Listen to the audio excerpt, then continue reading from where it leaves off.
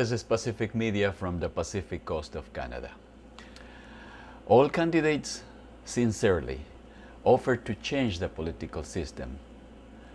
But to do that, they really want your endorsement of political power to them so they can make all the political decisions for you and me. We, the citizens, have to ask ourselves are we really incapable of legislating our own policies?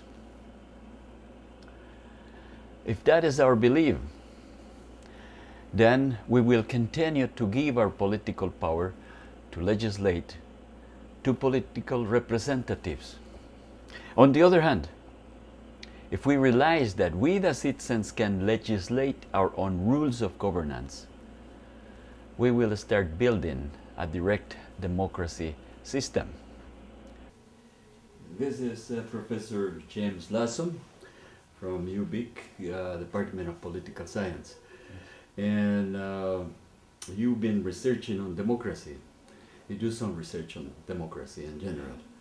And uh, my question is, how democratic is our political system in the province of British Columbia, which resides, first of all, maybe symbolically, maybe more than symbolically, on a monarchy. Right.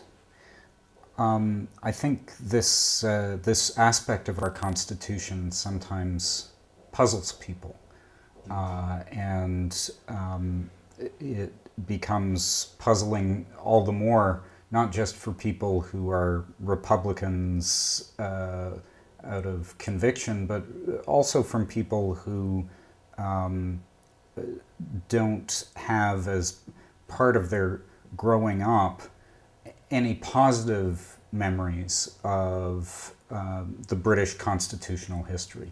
Mm-hmm.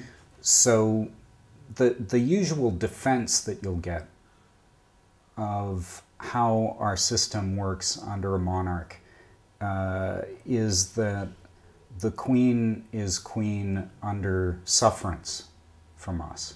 I don't understand that. Under sufferance, uh, under sufferance means she's queen as long as we want her to be queen, oh. and uh, even as early as the, uh, the, there was something called the Glorious Revolution in 1688 in England. Mm-hmm. Uh, the English Bill of Rights is imposed on the king and queen, the new king and queen, and they're told they can govern as long as they respect uh, these rights. And so the argument from inside this system mm-hmm. is that we respect the queen not just because she's queen, but because her predecessors mm-hmm. agreed to growing liberties on the part of her subjects. So we don't have the kind of top down kind of monarchy that the czars had or things like that. And the only, uh, the only thing we're asked to remember is that, at least within England, the queen conceded powers, mm-hmm. or the kings before her. Mm-hmm. Uh, and so now we're, we're acknowledged by acknowledging her, the story is we're also acknowledging that she has very little power and we're really driving policy. So that's the, that's the positive story. Mm-hmm. What's the negative? Well, the negative story, I think, is uh, um, twofold. If you're sitting in England, you're very much aware that the monarchy is a real head of a real class system and they really do own property and take rents from people simply because they're the monarchs. Um, so in England, the problem's much more in your face. For us, it's about how our historical memories work. If you're sitting in Quebec, you remember completely different things about what the monarchy means. Or if your family, say, was from the Caribbean or from uh, India or Pakistan, you remember very important things about the monarchy that aren't anything that good. Or if you're a native from Canada. Uh, well, that's an interesting story in itself, and I wouldn't, uh, I wouldn't deny what you're saying, but at the same time, uh, there are some people in uh, indigenous communities in this country who will say, Our relationship was with the crown, it's the settlers that gave us trouble.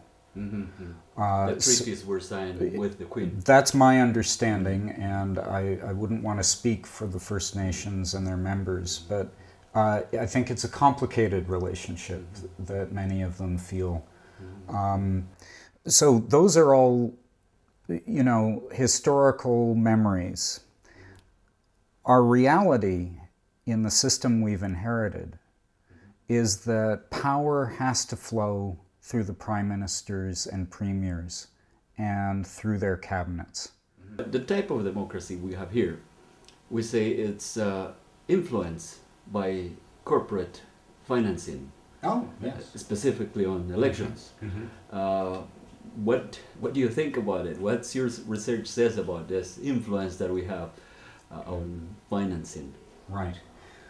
Well, there are ways of shifting the balance of power uh, between the broad base of the population and centers of power and influence like corporations. Uh, it's possible to have campaign finance laws that are weak uh, that allow uh, the dollars to talk more than the votes. And it's possible to have rules that are pretty strict. Quebec's one of the better provinces in this country in terms of restricting the role of money. But if we roll the camera back a bit into the 18th and 19th centuries, we have to remember that the whole foundations of our democracy start from the standpoint that the state doesn't get inter- to interfere in certain parts of our lives. And one of the parts that was accepted from the get go uh, was the distribution of private property that generates the class differences in a society. And because we started from those premises, we have to work really hard to offset the influence of, you know, the power imbalances that go with money. Yeah. So our democracy, in a way, is faulty because we're given too much, uh, in, too much power into in the influence of uh, financing campaigns. Well, well, from the financing uh, campaigns and all the other kinds of influence. Mm -hmm. that flow from corporate power in our society. That's, that's a key argument of some pretty important Canadians uh, in political science. And one of them is C.B. Macpherson, uh, who uh, I'm sort of quoting here mm-hmm. in the answer I'm giving right now. Mm-hmm. And what, what did he say? He said. Well, he was saying that this arrangement that we have mm-hmm. Uh, that uh, says that the state can't enter into certain areas of our life was arranged in many Western countries mm. so that the areas that the state can't get involved with include the, the markets, private property of productive equipment, and so on. So that is a fly in our system? Uh, well, it sure is if you think that money influences politics. Mm-hmm. Cabinet uh, ministers, which are selected by the premier, yeah. So the premier becomes more or less like a king or a queen. And uh, they, yeah. they have the power. A lot of MLAs that go to parliament, they just follow the whip's direction and uh, they don't have power to, to do much. Right. Whereas the premier has this centralized authority. Is that a fly in our democracy? uh, well, yes, this is a huge debate in uh, uh, circles uh, that discuss political science. Mm-hmm. Um, uh, one name in particular is a, a gentleman from uh, the East Coast. Uh, his name's Donald Savoie, and he works out of Moncton. his argument is exactly that the prime minister and the premiers have become like little monarchs, mm-hmm. that even the cabinet is being cut out of key decision making and it's the unelected advisors around the premier and around the prime minister uh, who are um, disciplining not just the rest of us, not just parliament, Mhm, but mhm. even their own cabinet colleagues. Mhm. Uh, and that is a very serious problem uh, Mhm. for even a, a plurality of discussion within a given governing party. The premier has the authority to open and close Mm. parliament sessions. Yes. And if she doesn't want to, she doesn't have to open it, like recently, Mm. right? Say, well, the next meeting will be in January. Mm. and legally, she has that right. Right.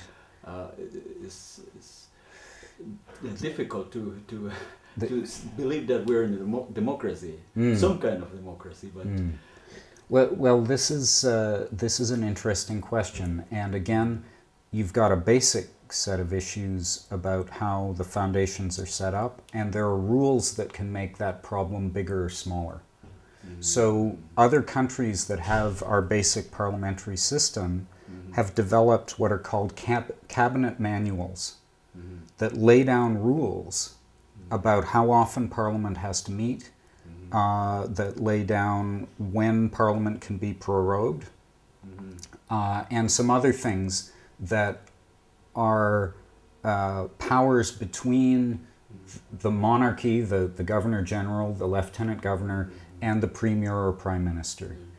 Um, so that's uh, there. There are ways of reducing that power, Mhm. and I'll also say that uh, you know there there is some technical grounds for the prime minister having some say because the government does have to start up the discussion. They have to have something to bring to parliament. So the the traditional justification is they're the ones who know when they're ready to bring things to parliament. They get to determine. Mhm. Uh, that's pretty debatable. Yeah, yeah. These days. Thinking, what makes them the only ones uh, that monopolize that authority? Mm. We- All the M- MLAs could, could do that. Yes. They- They could have a list of uh, priorities and say um, the first 10 we're going to Mm. discuss in this weekend, the second 10 next week. So technically, we don't really need the, the premier to, to uh, program what was going to be more, more important. There, there are two areas where there's some control or potential control.